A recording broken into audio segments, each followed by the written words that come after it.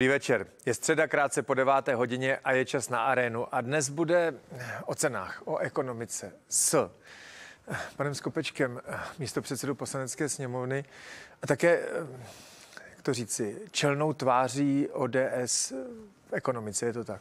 Dobrý den, dobrý večer. Dobrý Děkuji za pozvání. Lukáš Kovanda, jste mediální ekonom, ne, hlavní ekonom Trinity Bank a ekonomický publicista. Tak, dobrý, dobrý den. večer. Pane Skopečku, já mám první jako dotaz. Rating České republiky. Jestli jsem to dobře pochopil, jsou tři hlavní ratingové agentury. Moody's, Fitch a Standard Poor. Od těch se nějak odvíjí takový to hlavní nahlížení na státy, vlády a jejich kredibilitu. My jsme v AA minus, podle agentury Fitch. Já jsem se koukal, že jsme docela v dobré společnosti. Belgie, Hongkong, eh, hmm. Velká Británie, takže žádná katastrofa. Ale oni nám dali negativní výhled což znamená, nebude se to zlepšovat, spíš se to bude zhoršovat. Což znamená, že státní dluh nebo půjčky eh, se budou pro, prodražovat. A hlavně to podle mě znamená, už to nesvádějte na Babiše. To už je vaše věc. Eh, vlády Petra Fialy. To už je jako vaše věc, už to nesvádějte na ty minulý, teď hodnotíme vás a my vás hodnotíme negativně. Pro mě to je možná jako facka, ne? Já to jako facku nevnímám. Ty zprávy je potřeba brát vážně, jakkoliv když si člověk uvědomí, že tyto agentury stály do značné míry i u krize roku 2008, tak je pro mě podivný, že zase mají tu míru kredibility, kterou mají a význam, který se jim, který se jim dává. Na straně druhé prostě trhy tak fungují, dívají se na jejich hodnocení. V tom smyslu to brát vážně musíme a musíme dělat všechno pro to, abychom hospodářskou politikou tu situaci nezhoršovali. To, že to ty agentury zhoršují, eh, není ani tak dáno v tuto chvíli nějakými negativními kroky eh, vlády eh, stávající. Myslím si, že to je že to souvisí obecně s ekonomickým výhledem, který nás čeká, jednak s velmi vysokou mírou inflace a se stále zpomalujícím se hospodářským růstem, což samozřejmě může mít a bude mít negativní efekt i na veřejné finance. Pak rozumím i té agentuře, že ten výhled zhoršuje. Rozumím. Je to objektivní věc, nedá se nic dělat, jsme poměrně blízko válečnému konfliktu, lze očekávat teda problémy. Dobře, dobře, ne, nesouvisí to s vládou. A teď mi řekněte jenom ten názor na, na inflaci. My se dostaneme k České národní hmm. bance. Uh, jsou v zásadě dva názory. Jeden je, do určité míry jsme si to způsobili sami, rozhazováním státních financí, půjčováním si peněz na krytí schodku státního rozpočtu, který jsme si vyrobili tím, že jsme prostě přepálili výdaje domácnostem hmm. a ty různé transfery sociální a, a podobně. A ten druhý uh, názor je ten, no tak ono se to Českem přeleje, je to, ta inflace zdražování je způsobená venkovními vlivy, na který my nemáme žádný eh, dopad ani možnost je ovlivnit. Jak přišla, tak zase odejde a něco v tom dělat nemá vůbec žádný smysl, to tu situaci akorát zhoršujeme. Váš názor? To řekla Alena Šilerová ještě před pár měsíci, ať neblázní Česká národní banka se zvyšováním úrokových sazeb, že ta inflace je tady chvíli a zase odejde, aniž by se cokoliv uh, muselo dělat. Já, já jsem to... pochopil, že to jako chřipka. No, jo, no, že no. jak přijde, tak odejde no. a dobrý. Já si to nemyslím eh, já mám jako výrazně jiný názor. Já si myslím, že inflace je vážný ekonomický problém eh, ta vysoká míra inflace je velmi vážný ekonomický problém a že to je ekonomický problém, který souvisí s tím, jak byla realizována hospodářská politika v minulých letech, zejména měnová politika, nejen v České republice, ale ve světě. Souvisí to s tím velmi dlouhým obdobím levných peněz. Celá řada centrálních bank měla nulové úrokové sazby, některé měly, do, některé měly dokonce záporné. Viděli jsme tady dlouhodobé kvantitativní uvolňování, uvolňování měnové po krizi roku 2008 a do té ekonomiky se prostě dostalo obrovské množství peněz. Čili já si myslím, že inflace je dominantně peněžní jev a že jsme si na ní zadělali prostě velmi uvolněnou měnovou politikou v těch předcházejících letech, ke které se přidala politika fiskální, která dominantně tu inflaci nespůsobila, ale i ty vysoké deficity, které se znovu na dluh financovaly, tu inflaci, jak říkám, přifukovaly nafukovali. Jasně. Eh, Lukáši, Jan Skopeček je jako těžká váha eh, politické ekonomie, když to tak řeknu. E- e- ekonomie, jehož eh, slova stojí za to poslouchat v nejvyšších patrech české politiky. Když to posloucháte, Ta agenturní zhoršení eh, je věc de facto trochu objektivní. Kroky vlády s tím zatím nemají příliš mnoho společného, což může mít svoji logiku. Jo.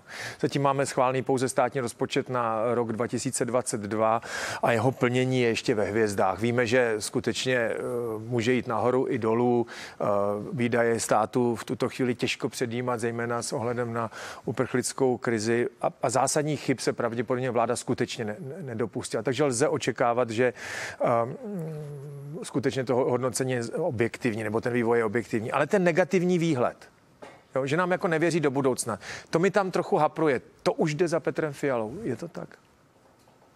Jde to za Petrem Fialou, byť máte pravdu v tom, že tato vláda se snaží osekávat ty dluhy, ale čekal se víc.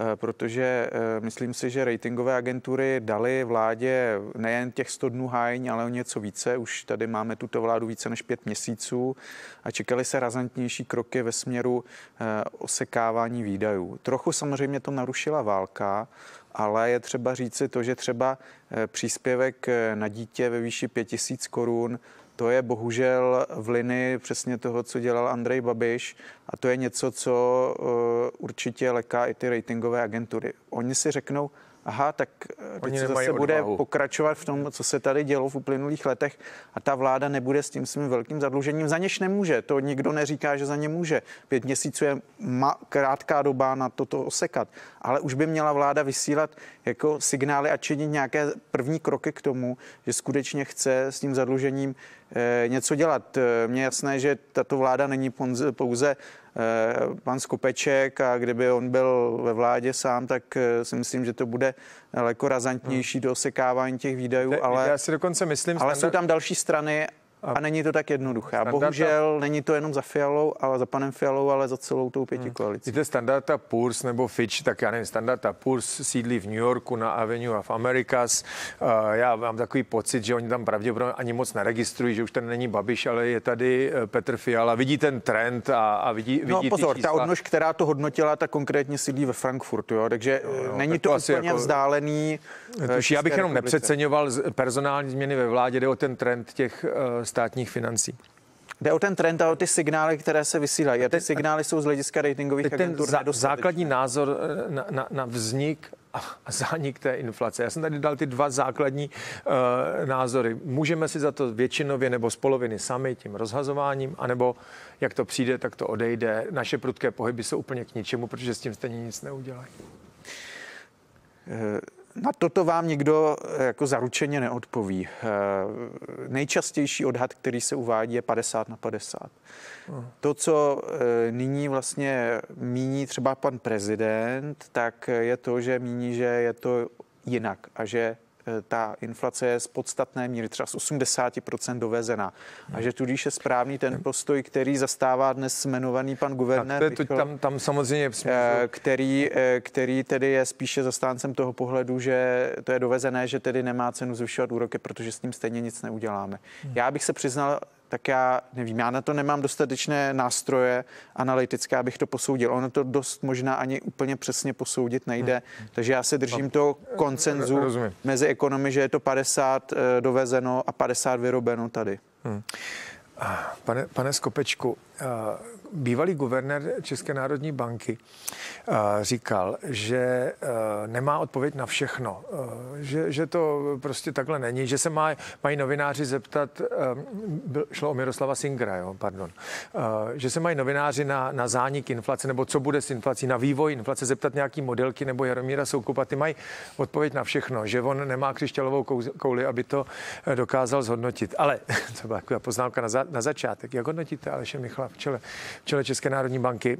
Takhle, potvrdilo se to, co se několik týdnů už de facto mezi novináři a zasvěcenci neslo, že Aleš Michl je žavým kandidátem na šefa eh, České národní banky patřil mezi eh, tři uvažované eh, kandidáty, o kterých se nejčastěji mluvilo. Je to člověk, eh, který pochází z bankovní rady, čili není to nováček, který by se vyšel z nížku. Jakkoliv to jméno asi nepatřilo v ekonomické obci mezi to, které by bylo favorizováno. Nicméně pan prezident tuto pravomoc má. Já, když jsem viděl dneska ten zejména twitterovský útok na nového guvernéra, tak ne, že bych se ho chtěl nějakým způsobem zastávat, to určitě udělá on sám. Nicméně myslím si, že mu musíme popřát všichni mnoho zdaru a hodně úspěchů, protože nastupuje do toho křesla v době, která opravdu závidění hodná není, nastupuje do toho křesla ve chvíli, kdy míra inflace je skutečně na, rekordních, na rekordní úrovni. A já jsem k tomu dával ten komentář, že já jsem opačného názoru, co se týče hmm. růstu úrokových sazeb, než je nový pan guvernér.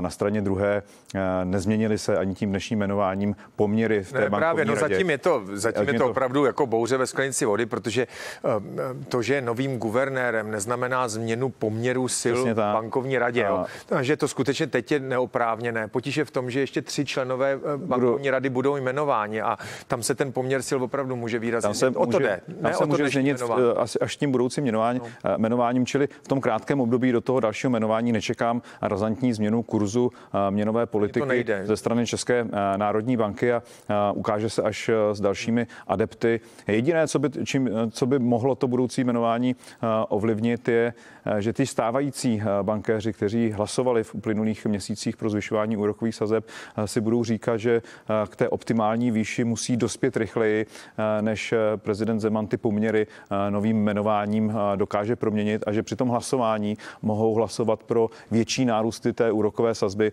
než ve chvíli, kdyby měli jistotu, že ty hlasovací poměry se nebudou měnit. Lze očekávat, a teď vaříme z vody, jak by řekl Miroslav Singer, teď je to naprosto nesmyslné, protože prostě ty informace nemáme, nemáme křišťálovou kouli. Lze očekávat, že ty tři noví členové bankovní rady budou svými názory asi konvenovat eh, prezidentu republiky a budou konvenovat eh, novému guvernérovi. Jinak by vlastně jeho jmenování de facto trochu postrádalo smysl, protože pokud by byl v menšině proti většině členů mm, bankovní rady, tak by tam pravděpodobně neměl co dělat. A může to znamenat razantní změnu kurzu. Jinými slovy, že úroky můžou jít zase zpátky dolů, přibližovat se té eurozóně. A teď stane se to, co někteří ekonomové mm, očekávají, že se roztočí inflační spirála jako nekontrolovatelně. Slyšel jsem názory, že se blížíme do Turecka. To říkal Miroslav Motejlek. Turecko mělo před rokem 17%, teď má 70%. Je to tím, eh, že odmítlo zvyšovat úrokové sazby. Může se to stát, anebo je to prostě jinak? Tak já doufám, že opravdu nedojde k nějakému razantnímu změnu, eh, změnu eh, kurzu té měnové politiky.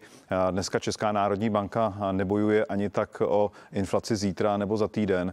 To, co dělá, se projeví v té ekonomice v míře inflace nejrychleji s ročním spožděním, se spožděním roku a půl proč mělo smysl podle mého názoru ty úrokové sazby zvyšovat, bylo, aby se absolutně nerozbořila takzvaná inflační očekávání, protože no. když by veřejnost, podniky, domácnosti viděli, že Česká národní banka proti té inflaci nebojuje a nechává jí být, tak by ji sami začí, začínali započítávat do svých smluv, do svých cen. Takže v tomto smyslu to podle mého názoru smysl dělat mělo a nemyslím si, že i kolega Michl by nějakým způsobem chtěl razantně ty hmm. úrokové sazby snižovat někam tam, kde má eurozóna respektive Evropská centrální banka, která je nezvyšuje zejména podle mého názoru proto, eh, že eh, nechce dostat do, dluh eh, do potíží dluh jižního no. křídla, přesto, že ta čísla inflace za eurozónu už jsou tak vysoká, že by si to dávno zasluhovalo růst úrokových sazeb. Chápu, už by prostě nedokázali obsluhovat dluh Řecko, Itálie nebo Přesně. s velkými obtížemi. Pane Kovando, já s ohledem na vaší profesi, jste hlavní ekonom, bankéř Trinity Bank, tak se asi vyhnu otázce na hodnocení osoby guvernéra České národní banky, protože je to tak stejně stejně etické, jako kdyby se advokáta ptal, co si myslí o soudci. On si o něm sice něco myslet může, ale nepochybně mi to neřekne, což si myslím, že uh, vy, uh, vy uděláte s panem Michlem. Ale lze očekávat, ta druhá otázka, kterou jsem směřoval na pana Skopečka, že ta změna kurzu by mohla roztočit tu inflaci. Od pana Skopečka jsme slyšeli jako opatrnou odpověď. Změna kurzu bude určitě. Myslím si, že prezident Zeman jmenuje eh, lidé, lidi podobné smýšlením eh, Aleši Michlovi, to znamená, budou to takzvané holubice, Eh, nebude docházet ke zvyšování úrokových sazeb. Jako eh, ale nebude docházet. Jestřáb, jo? Ano, ale nebude do, jestřáby jsou pro razantní zvyšování sazeb a pro rychlé skrocení inflace. Holubice jsou uh, pro volnější úrokové sazby. Klidně nechme, jak chce nyní Aleš Michl, stabilitu sazeb, ale nechce je snižovat. A i za tu cenu, že bude trochu vyšší inflace. Ona už to trochu dnes vlastně zrcadlí koruna, která oslabuje. Oslabení koruny znamená prostě pro inflační tlak, protože zdraží zboží z dovozu. A, jako ono to bylo eh, během jednoho dne o jedno procento jsem koukal, ale ten graf jako vypadá drasticky. Po oznámení, po oznámení toho eh, jmenování to okamžitě vyskočilo nahoru. Je to jedno procento. To si vezměme... se pře, přehoupla k 25, 50, ale, ale už jako... No ale vezměme si, že zatím jsme v té fázi, kdy, kdy, jak jste říkal vy, se nezměnil poměr sil. Ale uvidíme, kdo budou ti další jmenovaní. Podle mě to budou holubice a pak, eh, pokud zjistí investoři mezinárodní, že skutečně ty holubice jsou v převaze, tak ta koruna oslabí daleko více než dnes.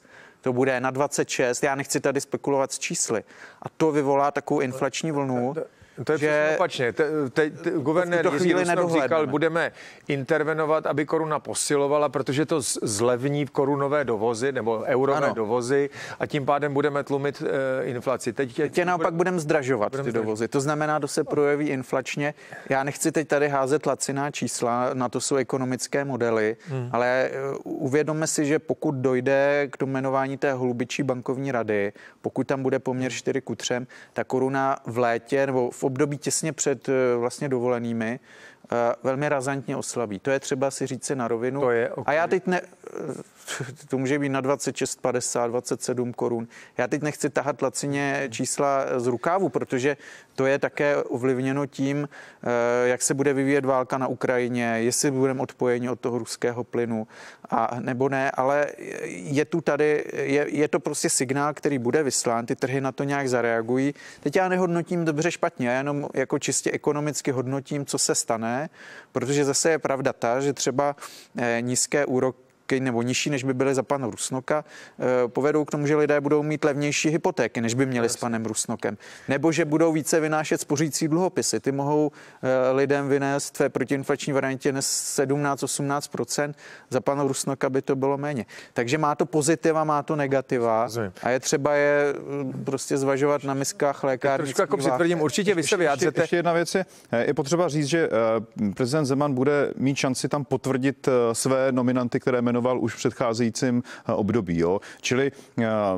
jasně úvaha jmenuje-li guvernéra s nějakou eh, představou, možná bude jmenovat jiné členy bankovní rady, aby změnil ten poměr, ale bude muset sáhnout do, ke kandidát, do kandidátů, které sám jmenoval. A možná si řekne, že některé z nich nechá a, a ten poměr se nezmění. To je jedna věc. A druhá věc, ta změna těch hlasovacích poměrů, i kdybychom připustili, že Zeman využije toho práva, pan prezident Zeman využije toho práva, změní ty lidi, tak vlastně ta změna těch hlasovacích poměrů poměrů může být ve chvíli, kdy už ta inflace třeba půjde eh, pomalu, eh, pomalu dolů a eh, to snižování úrokových sazeb může být třeba pro mě méně škodlivé, než kdyby k němu docházelo. No, inflace bude kulminovat až někdy... Příští, příštím roce by měla už klesat. No. Příštím roce, ale teďka bude ještě... Růst. Jiří Rusnok, ještě současný úřadující guvernér, říkal, že na Prahu léta by měla inflace kulminovat okolo 15%, pak by měla jít dolů a z nějakého důvodu příští rok by měla být okolo 2%. 100%, to znamená vrátit se na předcovidovou eh, dobu. Akorát on v té době utopie, už... To je utopie.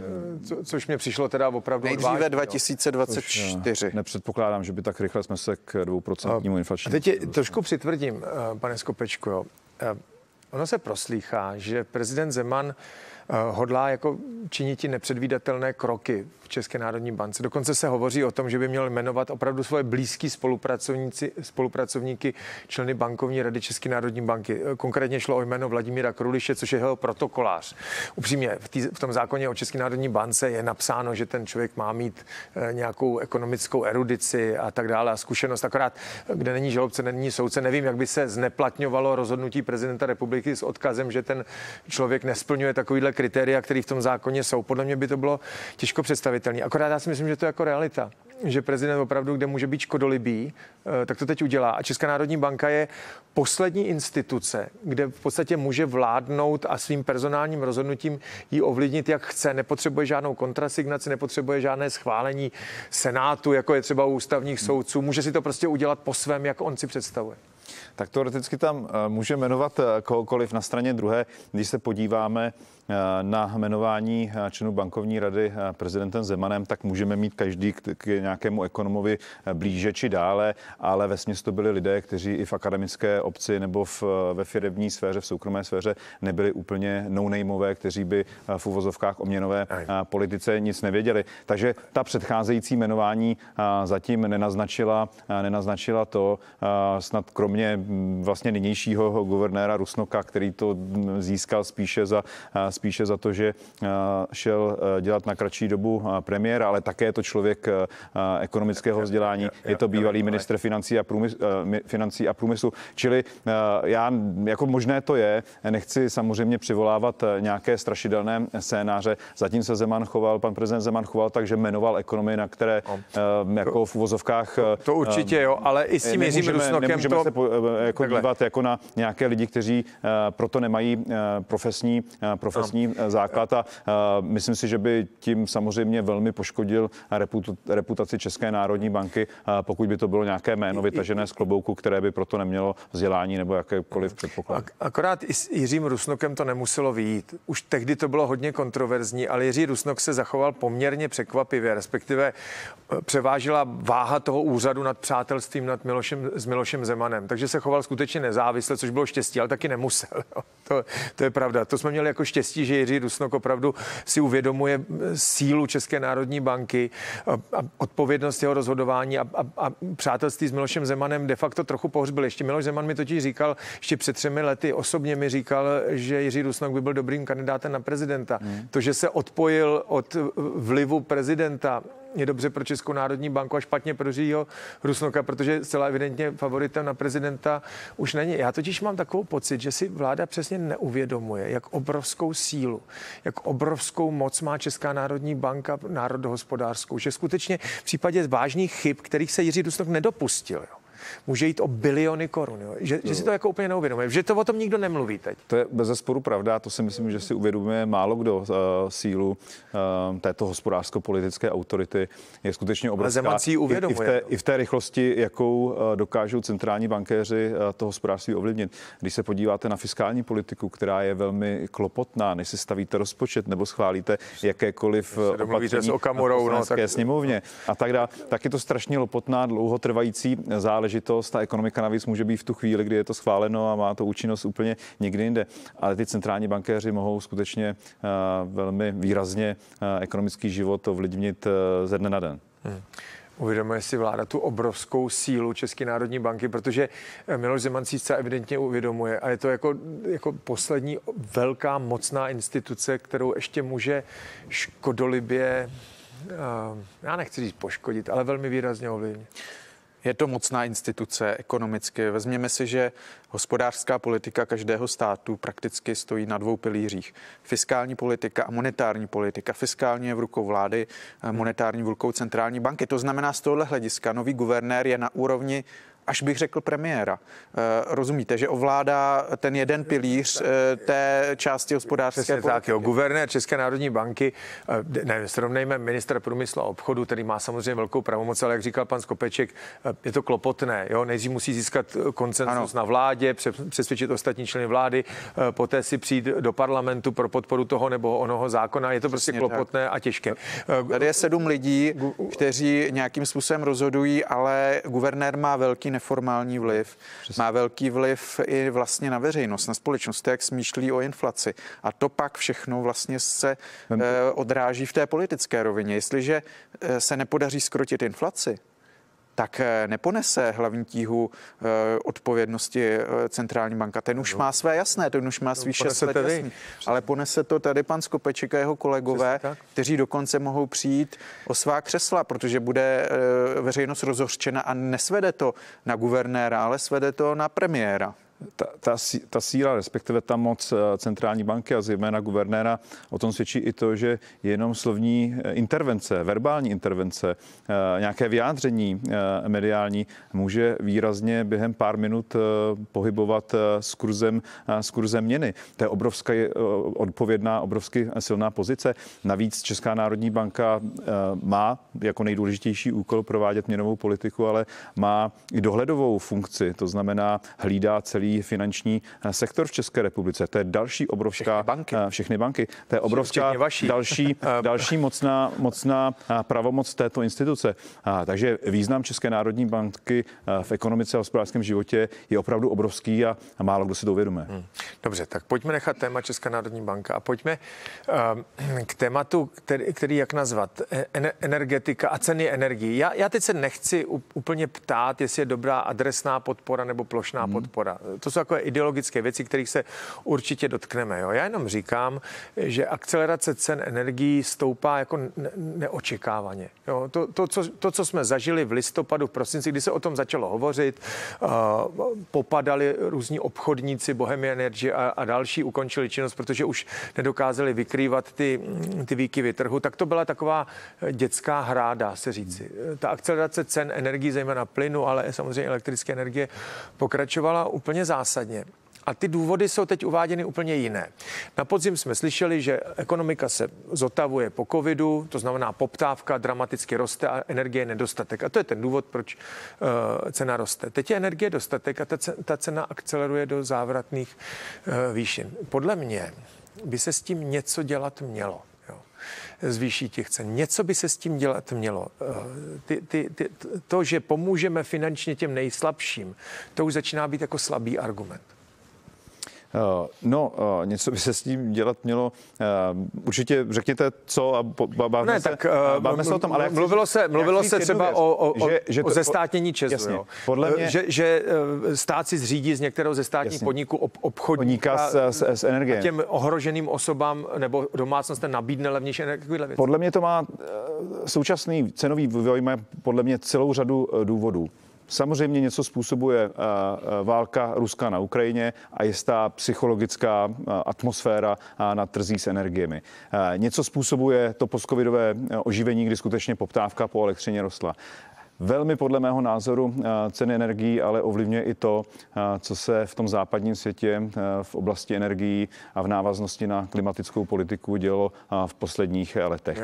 My se tady, my se tady budeme bavit o tom, jestli ten stát má něco někomu dotovat nebo se snažit o snížení cen ve chvíli, kdy si sami ty ceny energií uměle zvyšujeme například emisními povolenkami, což je podle mě něco, co by se hodilo spíš do centrálně plánovaného hospodářství, než než, eh, než do dneška. Nechci se a s váma já... hádat, ale vy jste zamrz jako na podzim, jo? Protože tehdy tam, ten Nezamrz. význam já jenom říkám. emisních povolenek pro zvýšení ceny byl třeba 20%. Teď už je to opravdu jako jednotky procent. Jo? Je to je velmi výrazně to prodražuje eh, ceny energií i dneska. A já se ptám, proč máme v uvozovkách například formou daní někomu z kapsy brát eh, peníze přemysťovat je prostřednictvím drahého přerozdělovacího mechanismu a akceptovat to, že tu máme umělý, eh, umělý fenomén emisních povolenek, které jsou dneska rejdištěm nejrůznějších spekulativních nákupů, které je v různých okamžicích. S těma eh, po, povolenkama. Bude se to regulovat, protože říkalo se o tom, že se jako zakáže volné obchodování s tím. Teď to byl takový cený papír de facto,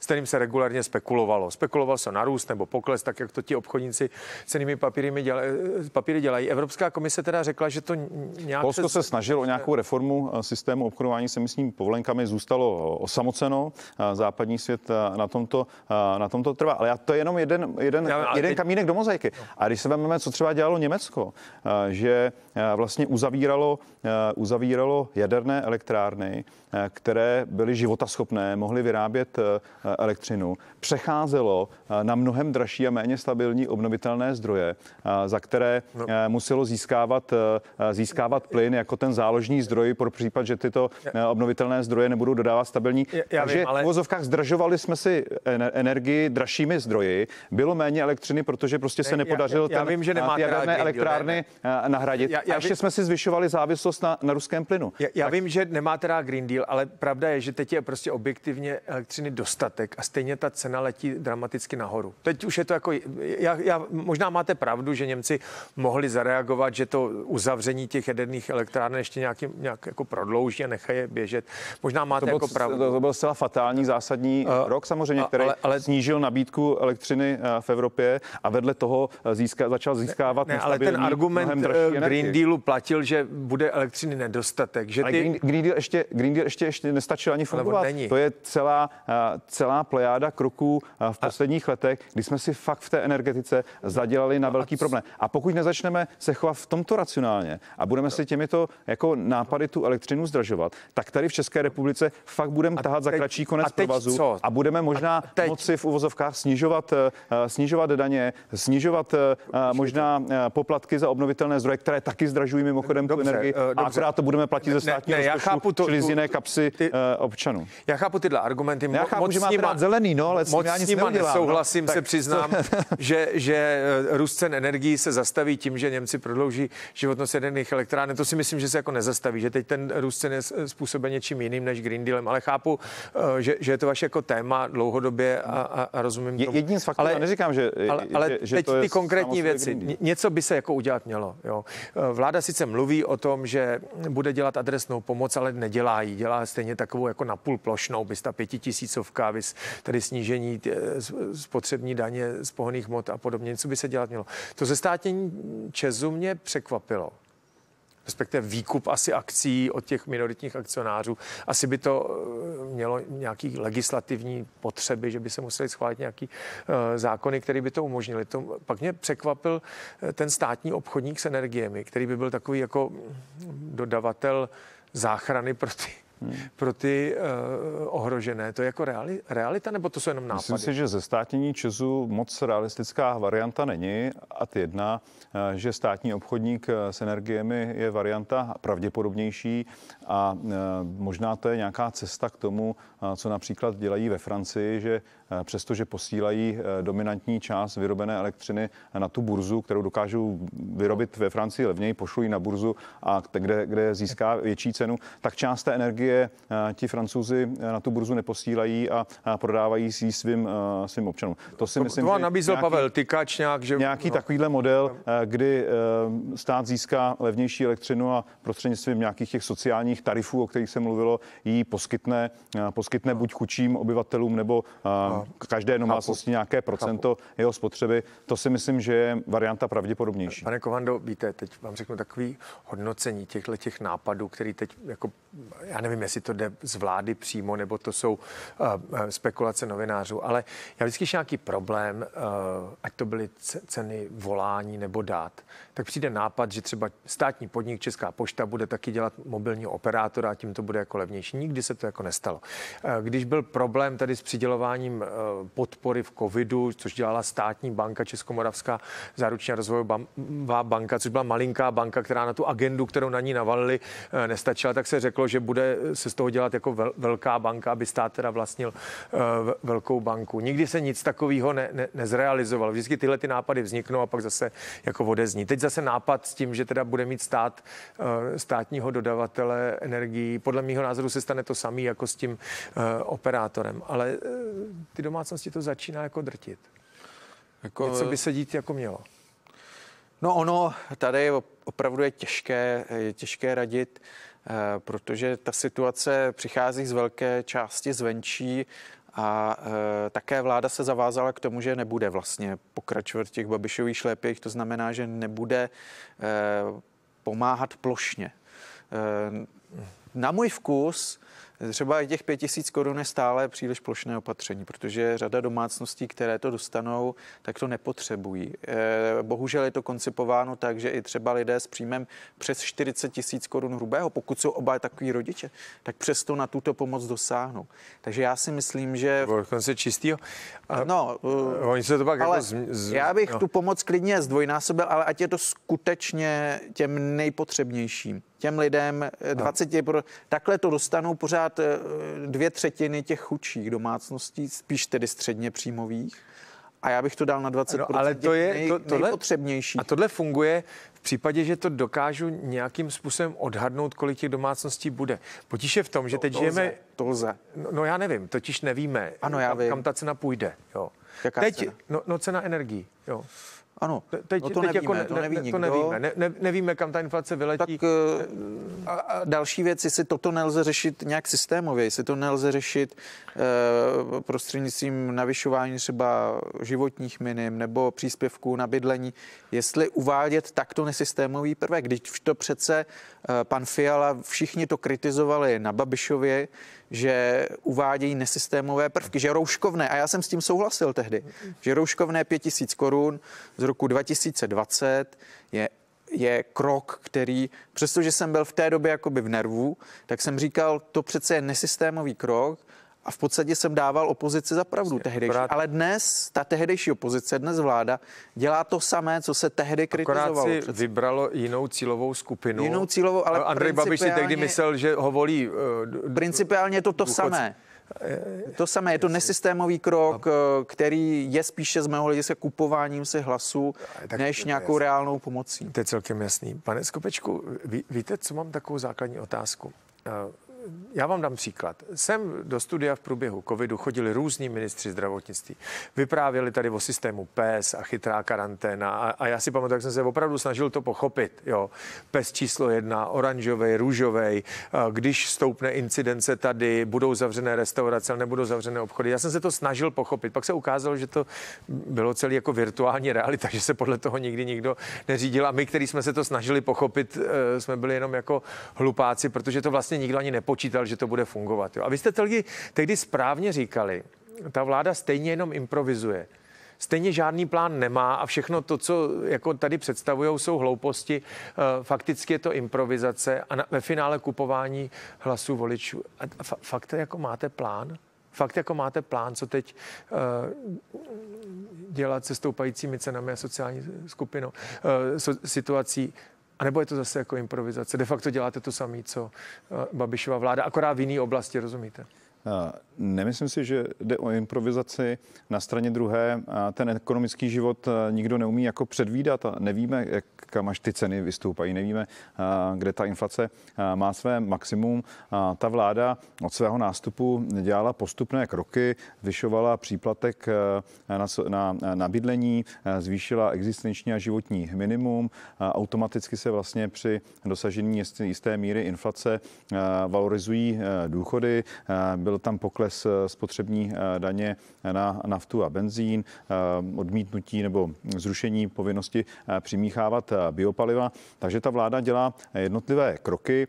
Ta pětitisícová pětitisícová položka, já ji jako politik rozumím ve chvíli, kdy prostě existuje nějaké sociální napětí ve společnosti, které opozice ještě přeživuje nesmyslnými řečmi o tom, že ta vláda se stará více o ukrajinské běžence než o své občany a trošku zneužívají té jako šílené situace, která se na Ukrajině děje, tak rozumím, že ta vláda potřebovala dát signál, že v úvozovkách jí ti čeští občané hostení nejsou. Já jako ekonom bych si taky dovedl představit, kdy kdyby to bylo nastaveno třeba prostřednictvím slevy, slevy na dítě, protože radši vždycky mám opatření na straně daní než přerozdělování, ale rozumím tomu, že to je prostě nějaký e, vládní kompromis, který, který vznikl a je to snaha nějakým způsobem zachovat, respektive neriskovat nějakou ne, sociální bouři ne. a zachovat sociální smír. V tomto smyslu tomu politicky i ekonomicky rozumím, jakkoliv, když bych byl v laboratoři, mimo politiku, nezávislý ekonomický analytik, tak bych dokázal možná, nebo byl bych přesvědčen, že dokážu to opatření narýsovat, narýsovat podle hmm. ekonomických pouček možná. To, to, to, to jsme si vysvětlili různý názory na adresnost a neadresnost. Asi nemá smysl se navzájem přesvědčovat, to se budeme točit v kruhu. Základní otázka, uh, opravdu se to zvládne? Myslíte si, že se to zvládne bez zvyšování daní? zase věrem tomu, že to komentuju a ne, ne, netajím se e, svýma názorama, tak vám jako říkám, že si podle mě to, vám to nemůže vycházet. Já jsem přesvědčen, že se o to musíme snažit a já za sebe říkám, že zvýšení eh, daní v této době, kdy vedle té inflace eh, tu začíná i skomírat ekonomický růst a blížíme se k riziku tomu, čemu my ekonomé říkáme stagflace, tak jsem přesvědčen, že zvýšení eh, daňové zátěže by bylo to nejhorší, co bychom mohli udělat, protože bychom ten ekonomický růst definitivně zabili a do té stagflace se dostali. Česká republika nepatří mezi země s nějakou rekordně nízkou mírou daňové daňového zatížení a já fakt nevidím v době, kdy, kdy těch inflace pro diváky je z, z, snižování ekonomického výkonu a současně zvyšování cen, inflace, inflace. My jsme ji zažili naposledy v 70. letech, teď ji pravděpodobně hmm. zažijeme taky. Že? Hmm. Ta pravděpodobnost roste.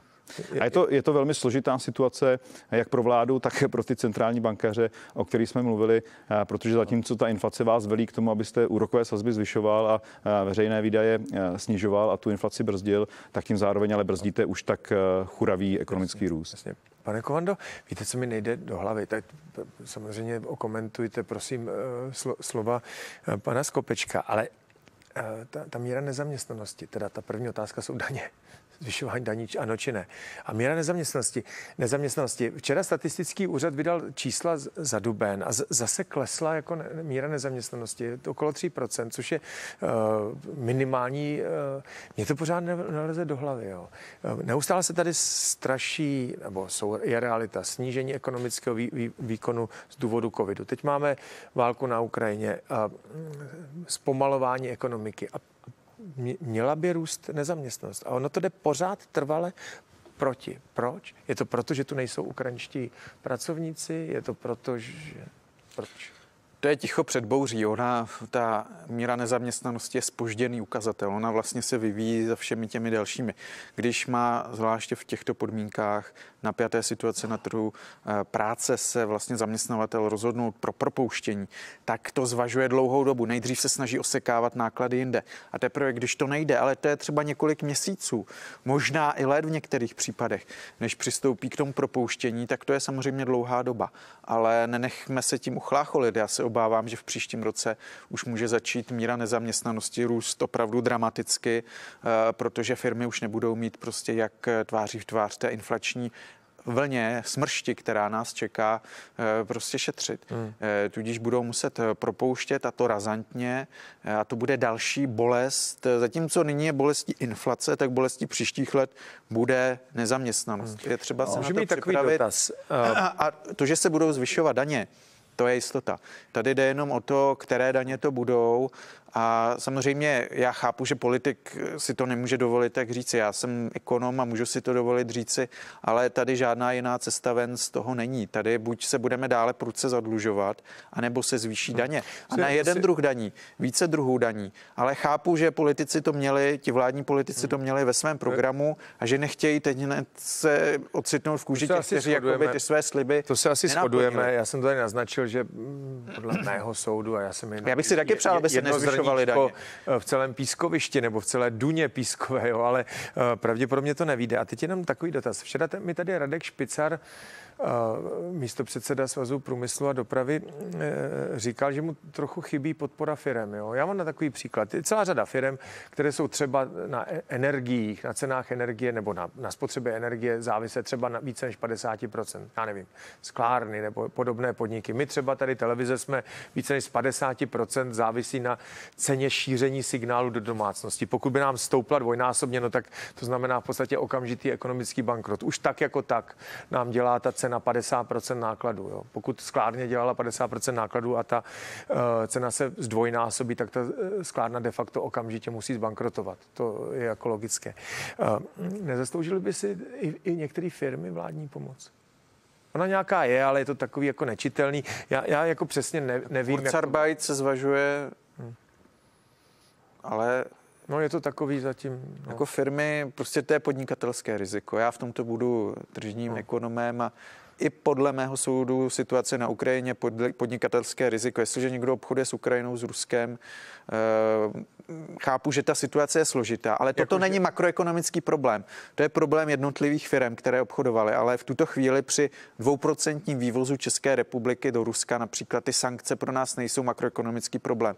Ty jsou problémem pro ty jednotlivé firmy a já jsem dokonce i proti Kurzarbeitu, protože já si myslím, že nemá opodstatnění v tuto chvíli takové to plošnější pomáhání těm firmám.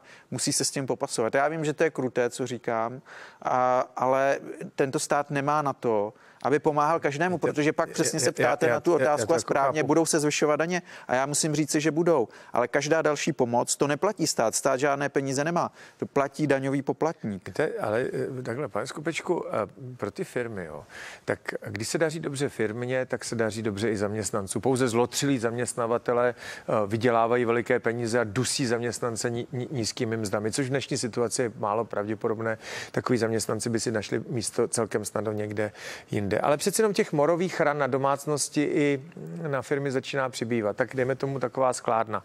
No dobře, tak uh, potýká se s cenami energií, potýkala se eh, s covidem, v tuto chvíli se potýká ještě s tlakem zaměstnanců na vyšší mzdy, protože eh, stoupají ceny, za které zaměstnanci bydlí, nakupují a podobně. Eh, fakt ne, fakt nechat ty firmy se v tom popasovat jako sami, ať si, ať si jako poradí. Já jsem taky tržní ekonom a, a také dobře vím, že žádné peníze stát nemá, takže pokud bychom chtěli nějak masivně pomáhat firmám, tak co to znamená? Firm, jiným firmám prostě tu část jejich zisku vememe a přesunem to firmám, kterým se nedaří. Ten, ten stát opravdu jiné peníze nemá, než ty, které ty firmy, no. potažmo zaměstnanci, zaměstnanci vydělají. Takže to v tom já jako dlouhodobou, dlouhodobou perspektivu ne, nevidím. Rozumím a, a tomu, si že když to srovnám, počkejte, když ne. to srovnám s covidem, kdy ten stát administrativně zakázal podnikatelům nakládat svým vlastním majetkem, zakázal jim podnikat, tak tam prostě ten stát má nějakým způsobem tu, ten zákaz podnikání, nemožnost podnikání hradit. Ale co se týče třeba podnikání v Rusku nebo v jakékoliv jiné, jiném teritoriu, tak, které má vyšší míru rizika, často ale přinášelo i vyšší míru zisku, tak tam to prostě tak, musí, tak ještě jinak, musí ty podnikatelé snést i tu ztrátu, já, já vím, tím tak, tak ještě jinak, vyšší zisk. Tomu já jako rozumím. A vám přijde jako normální, že Čes má za kvartál jako zisk 20 miliard, jo? No, je to důsledek, eh, důsledek rostoucích cen elektřiny, který pozorujeme ve světě i u nás a Čes na tom samozřejmě jako producent elektřiny vydělává. Takže nevím, jestli to je, co, co chcete ode mě slyšet za hodnocení, no, ne, ale, že, ale je to logická že většinový, věc. Že větši, no ne, že říkáte, že firmám eh, eh, lidem jako moc nepomáhat, že to jako necháme a, a Čes vydělává 20 miliard za kvartál, což možná může být zisk ke 100 miliardám za rok a většinou jeho vlastní stát, jestli to tak jako je správně. Oni teda v Česu říkají, že prý se to má peníze nechat a postavit za to tu jadernou elektrárnu. Co se zase rýpl do vás, jo, jako, jako zastánce. Že, ne, že, vy, že no, jestli ty peníze by se neměly použít. Ne, tak dividenda Česu je poměrně, jako poměrně důležitá součást, nebo je to součást příjem státního rozpočtu a, a bez zesporu i ty náklady, které budou souviset eh, s vyšší mírou inflace, valorizace důchodu, valorizace některých sociálních dávek, a samozřejmě může být hrazena i z těch eh, vyšších dividend Česu. 30 miliard jak, to může být. Jakkoliv, jakkoliv ty peníze do toho, víc, do toho rozpočtu samozřejmě nejdou umašličkované, ale je to poměrně významný příjem státního rozpočtu, ze kterého prostě budou hrazeny eh, vyšší výdaje. Mně se vždycky strašně líbí a vůbec tomu nerozumím, že to někdo dokáže s vážnou tváří říkat, že na inflaci ten stát vydělává prostřednictvím vyšších jako příjmů, výběru daně, DPH no, a tak dále. Tak... Jako by ty lidé zapomínali, že ten stát má i výdajovou výdaje, stranu no, a výdaje uh, z titulu vyšších uh, důchodů, vyšších sociálních dávek, ale i toho, že ten stát také nakupuje. To, to bychom řekli je takové trochu okamurovské, jo, když stát se vydělává, ale současně má samozřejmě taky vyšší výdaje, když je vyšší inflace, to je logické. Pánové, nedá se nic dělat. Tahle debata je u konce. U konce Jan Skopeček, Lukáš Kovana. děkuji vám, pánové. Děkuji za pozvání. Děkuji za pozvání, hezký den. A vám jako každý den děkuji za pozornost.